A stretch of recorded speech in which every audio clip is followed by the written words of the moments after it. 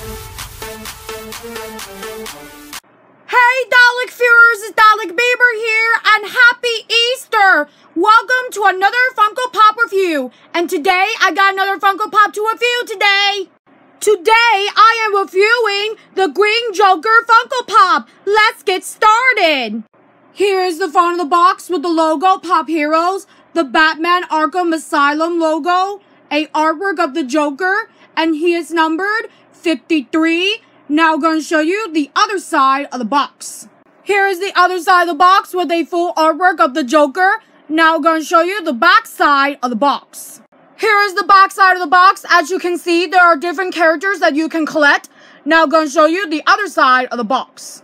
Here is the other side of the box with the logo Pop Heroes. And if you look closely, there's the Joker. Also, Dalek viewers, this Funko Pop is exclusive from Target.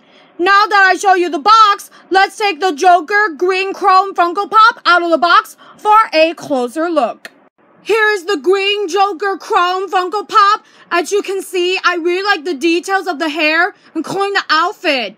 Again, this is one of my favorite Funko Pops that has the most details I have ever seen.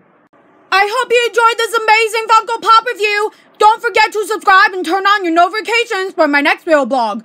Also, don't forget to subscribe Dalek Clan, Dalek Clifton, Dalek Niger, and of course Dalek Harper from the Canadian Dalek Empire.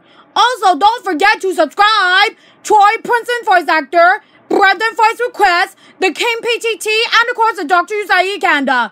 Like this video, leave a comment down below if you'd like to see another video blog. Thank you for watching! Bye!